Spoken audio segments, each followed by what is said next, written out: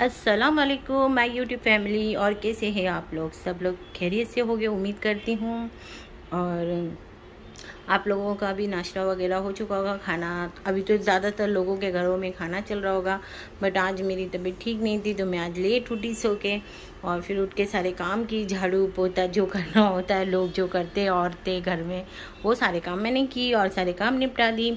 अल्लाह का शुक्र है कि मेरे से ज़मीन झाड़ू सारी हो चुकी, क्योंकि मैं बहुत ज़्यादा ही लेज़ी हूँ और एकदम स्लो स्लो काम करती हूँ बट करती हूँ तो अच्छे से करती हूँ।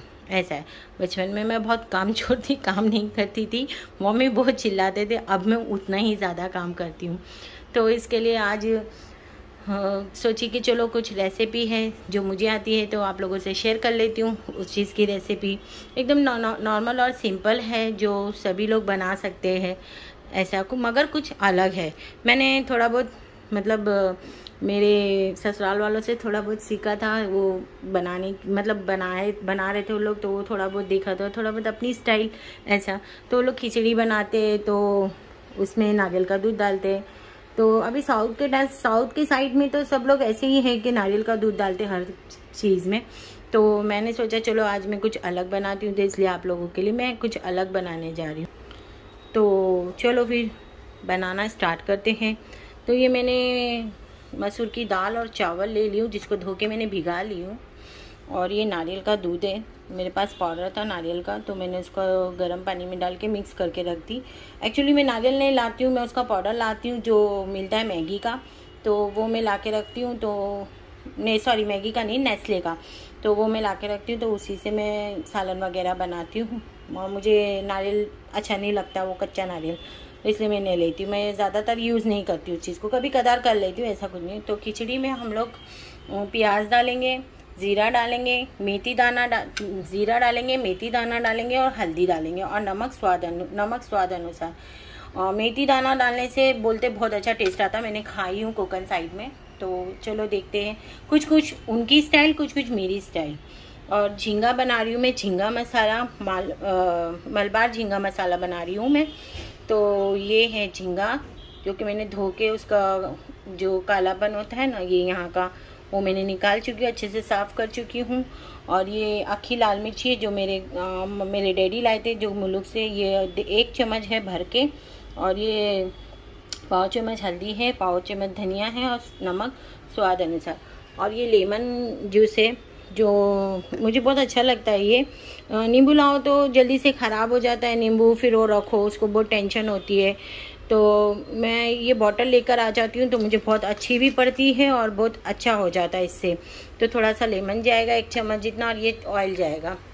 ऑयल तो और ज़ाहिर सी बात सबको लगता है। तो चलो जल्दी से हम लोग फ्लेम ऑन करते हैं। आज बहुत लेट हो चुका है, फिर नमाज़ भी बनी है और फिर खाना भी खाना है। ऐसा कुछ है। तो ये मैंने रख दी हूँ बर्तन। और मैं इसमें ऑयल डालूँगी। ऑयल डाल देंगे हम लोग, ज़्यादा ऑयल नहीं डालेंगे। अपने हिसाब से डालो, कोई कम खाता है, कोई ज़्यादा खाता है तो मैं अपने हिसाब से डालूँगी, ज़्यादा नहीं डालूँगी। तो मैंने इसमें, हम क्या बोलेंगे, दो बड़ी चम्मच ऑयल डाल चुकी हूँ। तो ये मैंने दो बड़ी चम्मच ऑयल डाल दी हूँ। तो मैं इसको साइड में रखती हूँ। हाँ अब ये ऑयल गर्म हो रहा है। तो देख हम्म, देख सकते हो आप लोग। ऑयल रख दी गर्म करने और ये खिड़की से बहुत ही हवा आ रही है तो मैं सोच रही हूँ इसको मैं बंद कर दूँ। तो मैंने इसको बंद कर लिया। और आज मैंने चाय भी नहीं पी। बहुत सारा काम था मैंने बहुत सारे काम करी। पूरा घर साफ़ करके लिया है मैंने आज। और सुबह में भी लेट उठी थी नमाज़ हुई सुबह की। सुबह नमाज़ पढ़ के हुआ, फिर उसके बाद थोड़ा नाश्ता करी, फिर उसके बाद फिर मैं सो गई थी। तो हमारा ऑयल अभी गर्म हो चुका है तो हम पहले इसमें, पहले हम इसमें मेथी दाना डालेंगे, जो मेरे पास पड़ा है। ये मैंने डाल दी हूँ। आज बेटा नहीं है, उसके दोस्त ने उसको बुलाया है तो वो गया है अपने दोस्त के पास में। तो मुझे खुद करना पड़ रहा है। चलो ठीक है, देखते हैं। कितना कर सकते हैं अपन? और ज़ाहिर सी बात है, किसी को कितना फोर्स कर सकते हैं अपन, है ना? सबकी अपनी अपनी लाइफ है। तो ये मैंने डाल दिया है मेथी दाना और ज़ीरा। इसकी फ्लेम में ऑन कर ले थोड़ी सी ऑफ़ की हूँ मैंने और ये मैंने और कांदा भी डाल दिया। तो ऐसा है। देखो, खुशबू इतनी मज़े की आ रही है ना, मैं आपको क्या बताऊँ, मेथी से खुशबू बहुत अच्छी आती है। मेथी जो कसूरी मेथी भी है ना, मैं भी, वो भी यूज़ करती हूँ खानों में। क्योंकि ना कीमा वगैरह, सालन वगैरह अगर हम बनाते हैं ना तो कसूरी मेथी थोड़ा सा उसमें डालो, दाल बगाने में। बहुत टेस्ट लगता है उसमें। तो मेथी डालने से तो बहुत अच्छी खुशबू आ रही है। तो अभी हम लोग इसको थोड़ा कांदे को नरम करेंगे। लाल नहीं करेंगे, क्योंकि लाल करेंगे तो इसका कलर छूट जाएगा खिचड़ी के अंदर। मैं इसको नरम कर दूँगी। आप देख सकते हैं। तो आप लोग देख सकते हो, ये कांदा नरम हो चुका है। अभी मैं इसमें ये हल्दी और ये नमक डाल दूँगी। मैंने डाल दी हल्दी और नमक। इसको हम थोड़ा सा टन कर लेंगे।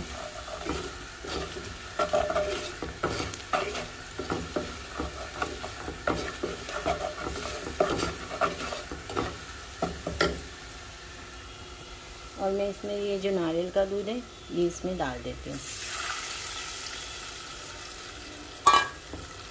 अच्छे से हिला लेंगे। साउथ साइड में तो मतलब नारियल का दूध, नारियल बहुत ज़्यादा यूज़ होता है।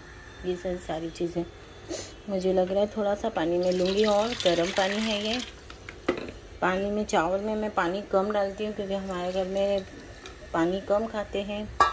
तो मैंने कम से कम डेढ़ गिलास पानी डाली हूँ, नारियल का दूध का। करके जैसे नारियल का दूध जितना डाली, उतना डेढ़ गिलास है वो, जो मैं नारियल का दूध डाली। अभी मैं इसको जोश लेने दूँगी, फिर मैं आपको चावल डाल के बताती हूँ। तो आप देख सकते हो, इसमें आ रहा है जोश तो जोश मतलब बॉयल और मैं इसमें ये चावल डालने लगी हूँ तो मैं ये सारे चावल इसमें डाल दूँगी। ठीक है? और मैं इसको टर्न करती हूँ। तो जैसे कि आप लोगों ने देखा, मैंने ये डाल चुकी अब इसको मैं जोश करने के लिए रखती हूँ। अभी हम झींगे की तरफ़ आते हैं। तो मैंने ये जो झींगा है, ये सारा मैं ले लेती हूँ। मैं इस बर्तन में इसलिए नहीं मिलाती हूँ क्योंकि ये हल्दी मिर्ची का जो कलर होता है, ये सारे बर्तनों में छूट जाता है। तो मुझे अच्छा नहीं लगता है तो मैं स्टील में ज़्यादातर मच्छी वगैरह मैं मतलब मिक्स करती हूँ। और ये जो सारे मसाले मैंने आपको बताए, ये भी मैंने डाल दी इसमें। अभी हम अच्छी तरह से इसको हिल मिक्स कर लेंगे। तो अभी हम इसमें ये नींबू का रस जो है, ये डाल देंगे। तो ये मैं आपको डाल के बताती हूँ। ये मैंने लगभग एक चम्मच डाल दी हूँ। ये मैंने एक चम्मच डाल दी हूँ नींबू का रस। आप देख सकते हो। अभी इसका काम हो चुका है तो हम इसको रखते हैं फ्रिज के अंदर। और मैं इसको फ्रिज में ही रखती हूँ। ऐसे हैं। तो अभी हम उसको अच्छे से मिक्स कर लेंगे। तो जैसे कि आप लोग देखें, मैंने झींगे को मिक्स कर लिए हूँ अच्छी तरह से। अब इसको हम दो, तीन, दो से पाँच मिनट रखेंगे। और ये मैंने थोड़ी सी राई ली हूँ और ये चार पाँच लहसुन की कली ली हूँ, जिसको मैंने अच्छे से ठेस ली हूँ और ये करी पत्ता है। ये हम डाल के फिर ये झींगा डालेंगे। और देखो, खिचड़ी में भी बगा, जो आ चुका है तो ये स्लो स्लो होगी। तो हम झींगे की तरफ़ आते हैं। झींगे को ले लेते हैं। क्या करना है? हमको झींगा कैसे हम फ्राई कर सकते हैं, बताती हूँ मैं आपको। तो जैसे कि आप लोग देख रहे हैं खिचड़ी हो रही है। यहाँ मैंने कढ़ाई रख दी हूँ। इसमें मैंने ऑयल डाला था। थोड़ा सा और ऑयल डाल लेती हूँ। ज़्यादा ऑयल नहीं डालना है। अपने हिसाब से डालो। ऑयल कम खाओ तो ही अच्छा है। तो मैं थोड़ा कम ऑयल डाल रही हूँ। मैंने डेढ़ चम्मच ऑयल डाल ली हूँ।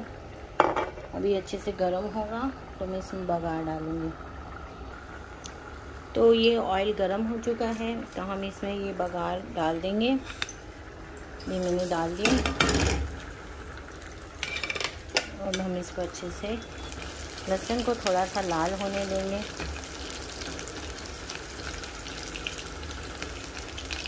मच्छी भी आप इसी तरह फ्राई करो, बहुत टेस्टी लगती है मसाला लगा के रख दो और फिर इसको फ्राई करो, बहुत ही टेस्टी लगती है। असद को तो बहुत पसंद है। असद ने आज मुझे पहले ही बोल दिया, रात को मतलब रात को ही बता दिया था कि उसको कल क्या खाना है। तो मम्मा मेरे को झींगा खाना है और खिचड़ी खाना है। तो मैं बोली, चलो ठीक है, बना लेते हैं। अनम को मच्छी ज़्यादा नहीं पसंद है, अनम नहीं खाती है। तो वो आएगी तो उसके लिए कुछ और बना दूँगी मैं। क्या करेंगे? बच्चे हैं, बच्चों की फरमाइश होनी चाहिए। तो ये जो झींगा है, ये मैं इसमें डाल देती हूँ।